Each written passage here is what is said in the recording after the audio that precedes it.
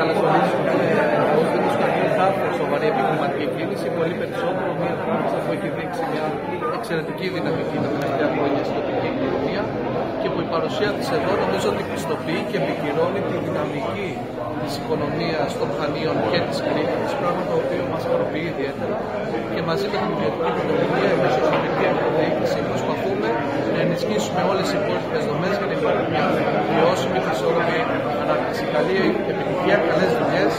Ε, εύχομαι από καρδιά στην τράπεζα που σήμερα